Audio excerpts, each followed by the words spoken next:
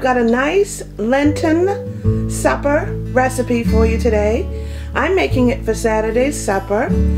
It um, consists of some Velveeta, peas and carrots, penne pasta, ragu, creamy tomato, cheese creation, um, some lemon pepper, you can add or not, and Parmesan Romano cheese.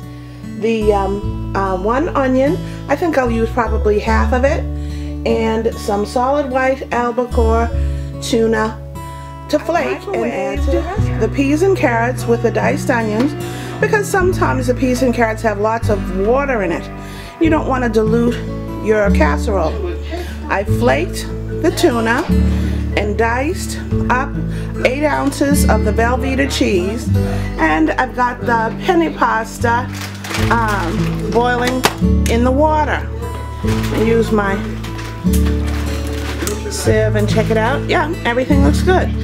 So, once I drain the pasta, I'll see you back with more steps. The uh, penne is ready, so I'm going to put everything in with the exception of the Parmesan cheese and put it in the oven.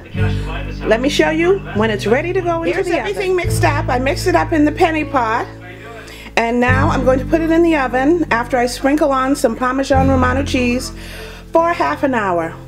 Then dinner will be ready. Here's the casserole fresh out of the oven, hot and steamy. Let's see your plate. Oh, and let me mention, I added some ground black pepper and some crushed red pepper because um, it was kind of bland. So I added that to the pot before I put the ingredients into the casserole. So let's see a plate.